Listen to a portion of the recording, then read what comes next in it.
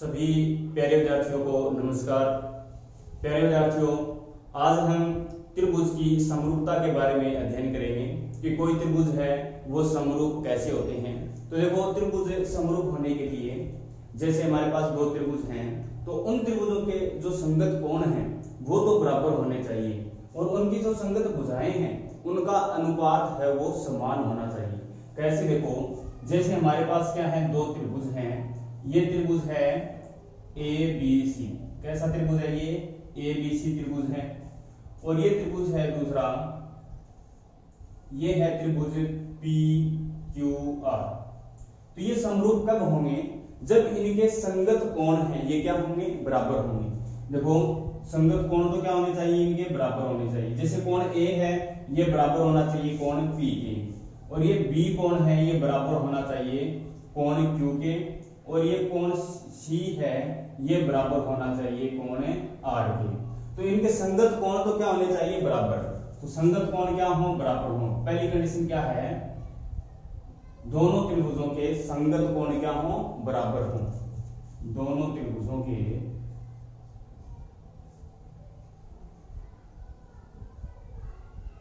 दोनों त्रिभुजों के संगत कोण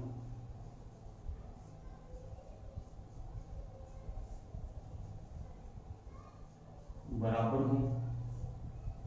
अब संगत कोण कैसे देखो जैसे कोण ए है, ये किसके बराबर होना चाहिए? कोण ए बराबर हो कोण पी के। कोण बी है, ये बराबर हो कोण क्यू के। कोण बी बराबर कोण क्यू और कोण सी बराबर क्या होना चाहिए? कोण आर तो इनके जो संगत कोण है, ये क्या होने चाहिए? बराबर होने चाहिए। और दूसरी कंडीशन क्या है? इनकी जो संगत भुजाएँ हैं, इनका अनुपात समान होना चाहिए। संगत भुजाएँ हैं, इनका अनुपात कैसा होना चाहिए? समान होना चाहिए। तो क्या लिखेंगे? संगत भुजाओं का अनुपात संगत भुजाओं का अनुपात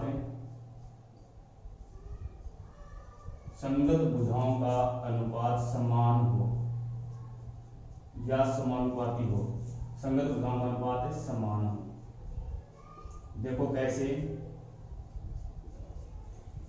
ए बी और पी क्यू का अनुपात कैसे लिखेंगे इसको? ए बी बटे पी क्यू ये बराबर होना चाहिए। किसके? बी सी बराबर बी सी बटे क्यू आर बी सी बटे क्यू आर यानी कि ए बी और पी क्यू का अनुपात है। ये बराबर होना चाहिए। बी सी और क्यू आर के अनुपात के बराबर। और ये बराबर होना चाहिए किसके? एस सी और पी आर के अनुपात की। एस सी अनुपात पी आर तो ये जो अनुपात है, यानी जो संगत कोण है, ये तो बराबर होना चाहिए। बराबर होने चाहिए सभी। और संगत भुजाओं का जो अनुपात है, वो क्या होना चाहिए? बराबर होना चाहिए। तो देखो, जैसे ए बी और पी क्यू का अनुपात है, ये बराबर हो किसके? बी सी और क्यू आर के। और ये बराबर हो किसके? ए सी और पी आर के अनुपात के। तो इन सभी का जो अनुपात है, वो क्या होना चाहिए? बराबर होना चाहिए। कैसे देखो?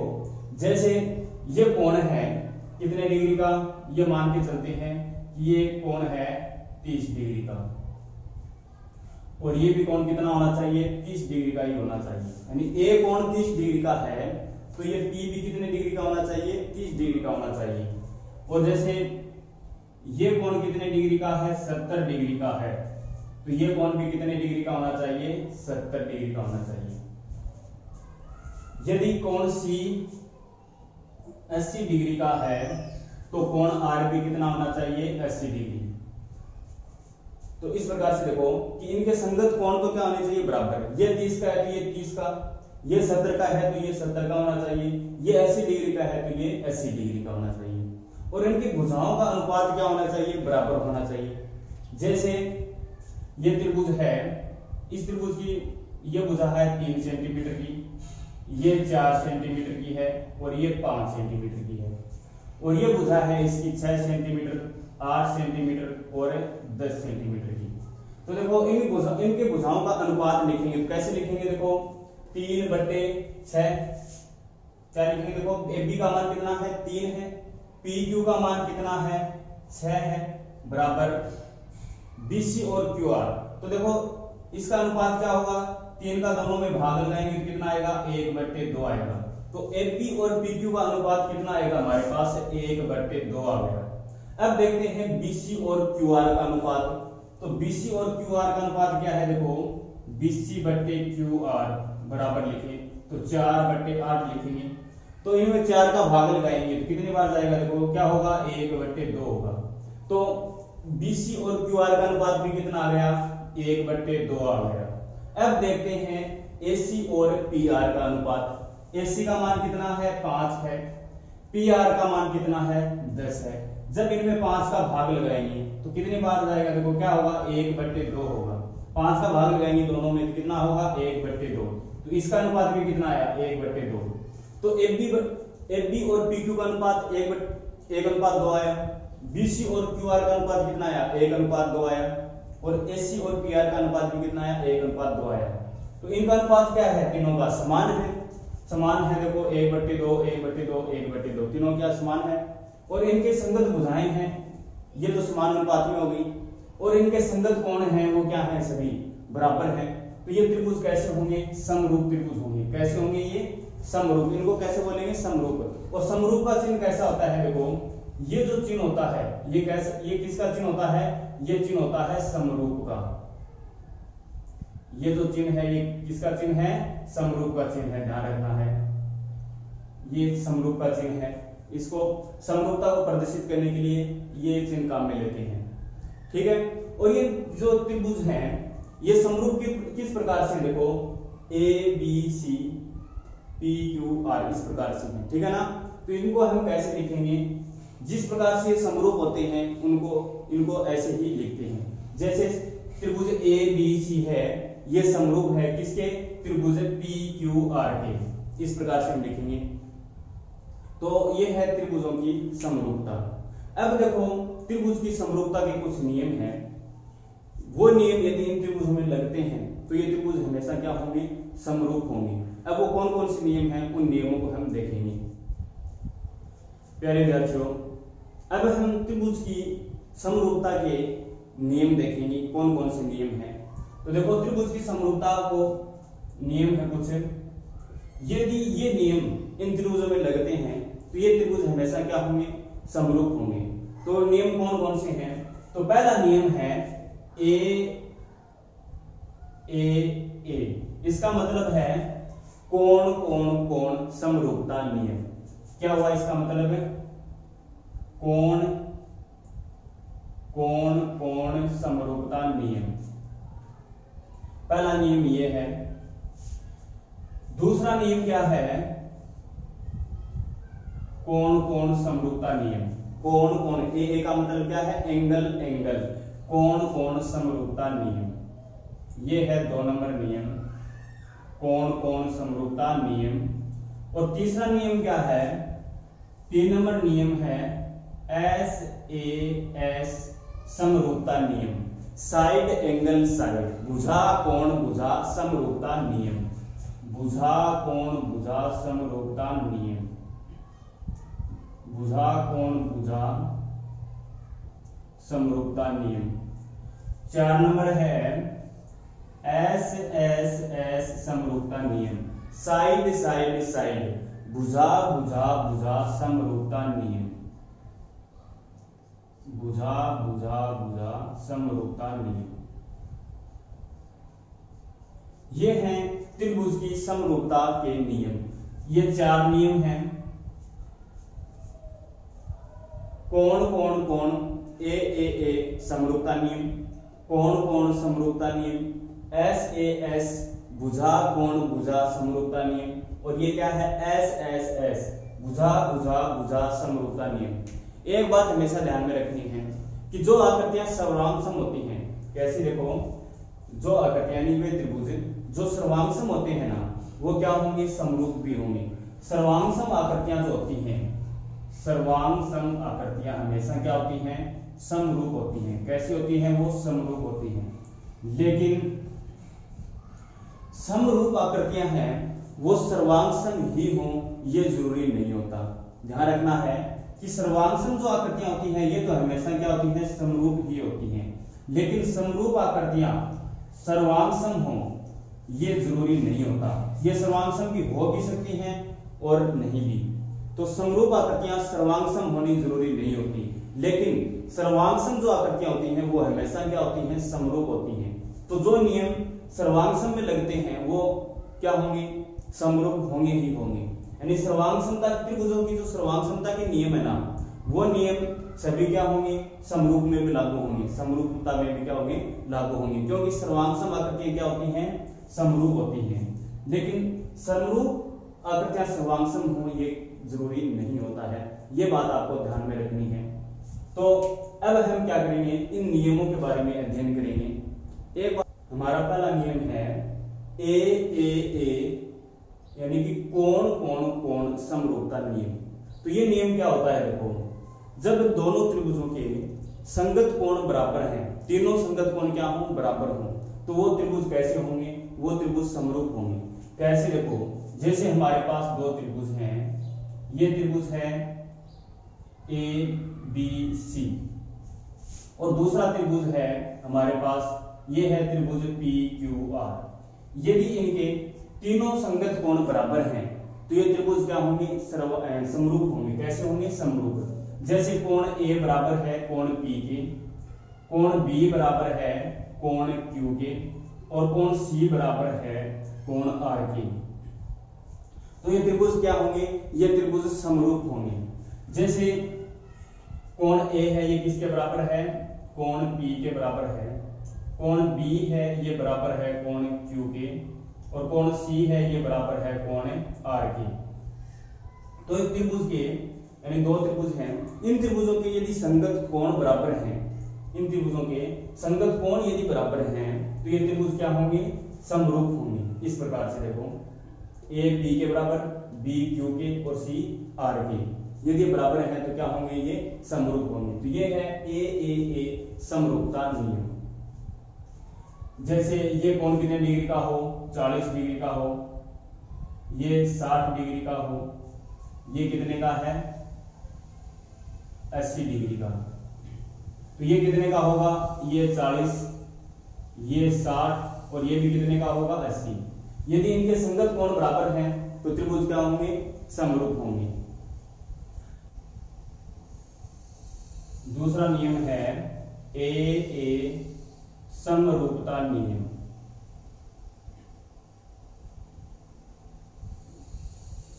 ए ए समरूपता नियम ए ए समरूपता नियम का मतलब है कोण कोण समरूपता नियम अब ये कोण कोण समरूपता नियम देखो, यदि किसी एक त्रिभुज के दो कोण, दूसरे त्रिभुज के संगत दो कोणों के बराबर हैं तो वो त्रिभुज क्या होंगे? समरूप होंगे।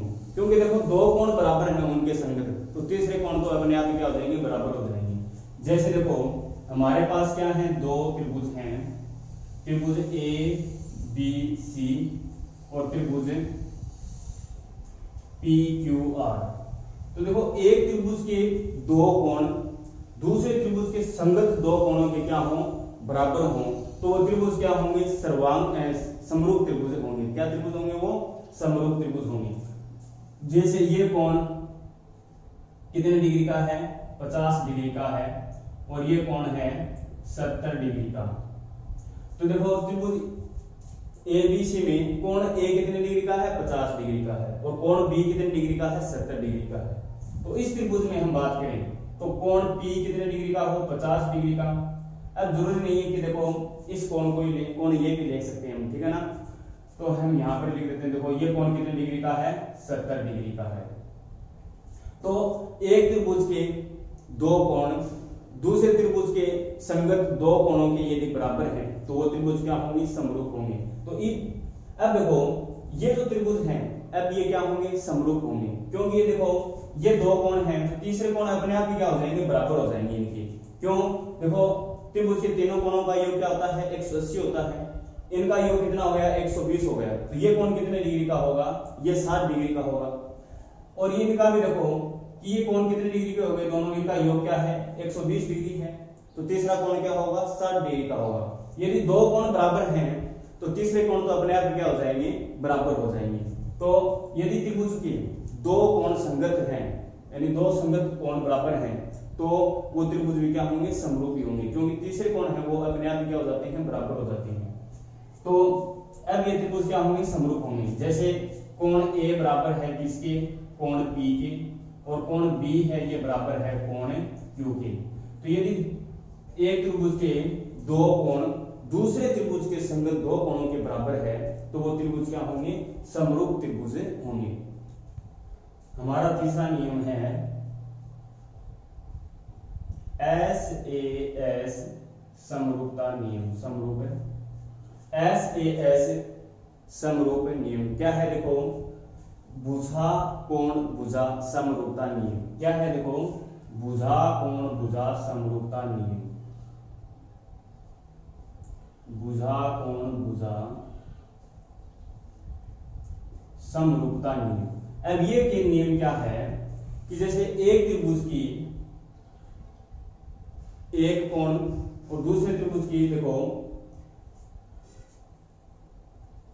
हमारा तीसरा नियम क्या है? एस ए एस यानी कि बुझा कौन बुझा, समरूपता नियम। ये नियम क्या है? जैसे हमारे पास क्या है? दो त्रिभुज हैं। ये है त्रिभुज ए, बी, सी। और ये त्रिभुज है पी, क्यू, आर। ये क्या है? हमारे पास दो त्रिभुज हैं। तो इसमें क्या होगा? देखो कि इसमें दो कोण देखो, इसका पहले त्रिभुज का कोई कोण है, वो उसके दूसरे त्रिभुज के संगत कोण के क्या हो, बराबर हो। जैसे कोण ए है, ये क्या हो, कोण पी के क्या हो, बराबर हो। तो कोण तो क्या होने चाहिए, बराबर होने चाहिए। संगत कोण क्या होने चाहिए, उनके बराबर है, एक एक। और उन कोणों को अंतर्विष्ट करने वाली भुजाएँ, जैसे कोण ए लिया तो इसको अंतर्विष्ट करने वाली भुजा कौन कौन सी है? ए पी है और एसी है। किन भुजाओं के कारण बन रहा है ये कोण ए बी और ए सी इन दोनों भुजाओं के बराबर, इन दोनों भुजाओं के द्वारा बन रहा है कोण ए ठीक है ना? तो इनकी, इनको जो अंतर्विष्ट करने वाली भुजाएँ हैं, उनका अनुपात इस पी कोण को अंतर्विष्ट करने वाली जो भुजाएँ हैं, उनके क्या होना चाहिए? बराबर होना चाहिए। तो देखो, कोण को क्या होने चाहिए? बराबर होने चाहिए। और इन कोणों को अंतर्विष्ट करने वाली जो भुजाएँ हैं वो समान अनुपात में होनी चाहिए। तो ये त्रिभुज क्या होंगे? समरूप त्रिभुज होंगे। तो देखो, इसमें कोण ए है। ये तो बराबर होना चाहिए किसके? कोण पी के। कोण ए है ये तो बराबर होना चाहिए कोण पी के। और इन कोणों को अंतर्विष्ट करने वाली भुजाएँ, जैसे ए कोण ए है तो इसको अंतर्विष्ट करने वाली भुजाएँ कौन कौन सी हैं? ए बी और ए सी है। तो ए बी और ए बी और इसकी संगत भुजाएँ क्या है? इसकी संगत भुजा क्या है? पी क्यू है। यानी ए बी की संगत भुजा क्या है? पी क्यू है। तो ए बी और पी क्यू का अनुपात बराबर होना चाहिए। किसके ए सी और इसकी संगत भुजा क्या है? पी आर है। ए सी और पी आर के अनुपात की। तो कोण तो क्या होने चाहिए? संगत दोनों कोण तो क्या होने चाहिए? बराबर होने चाहिए। और उन कोणों को अंतरिक्ष करने वाली जो भुजाएँ हैं उन भुजाओं का अनुपात है, वो क्या होना चाहिए? समान होना चाहिए। तो देखो, कोण ए बराबर पी और इस कोण को अंतरिष्ट करने वाली भुजा क्या है? ए पी है ए बी और इस कोण को अंतरिष्ट ए पी क्यू तो ए बी और पी क्यू का अनुपात बराबर होना चाहिए ए सी और पी आर के अनुपात के। तो ये त्रिभुज क्या होंगे? समरूप त्रिभुज होंगे। जैसे हम कोण बी को लें तो कोण बी लें तो ये बराबर होना चाहिए कोण किसके? क्यू के। तो कोण बी है, ये बराबर होना चाहिए कोण क्यू के यदि कोण बी लें। अब ये कोण बी किन किन भुजाओं के द्वारा बन रहा है? ए बी और बी सी के द्वारा बन रहा है। और ये जो क्यू कोण है, ये पी क्यू और क्यू आर के कारण बन रहा है। तो यहाँ पर ए बी और पी क्यू का अनुपात क्या होना चाहिए? देखो ए बी अनुपात पी क्यू ये बराबर होना चाहिए किसके? बी सी और क्यू आर के अनुपात की। तो बी सी अनुपात क्यू आर की यदि हम कौन सी और कौन आर लें तो कौन सी और आर क्या होने चाहिए? बराबर होने चाहिए। कौन सी बराबर क्या हो? कौन आर हो। अब ये कौन किन के द्वारा बन रहे हैं।